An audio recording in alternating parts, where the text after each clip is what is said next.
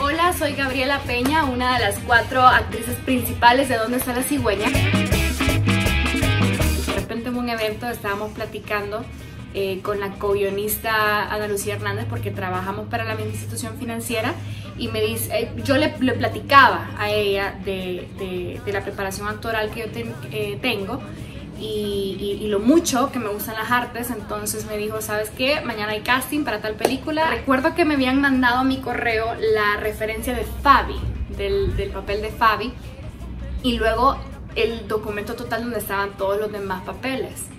Eh, pero cuando llego yo al papel de Mariel y leo la descripción de Mariel y la vestimenta y cómo ella es, cómo es el personaje, me encantó.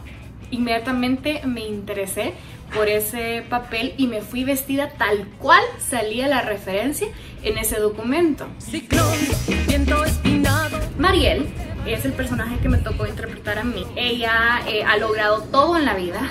Eh, tiene su propia empresa, títulos académicos, una casa impresionante, eh, un estatus socioeconómico envidiable, pero no puede ser mamá.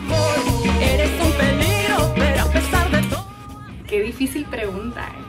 una de las que más disfruté fue la del futbolito, definitivamente, porque ahí Mariel se descompone.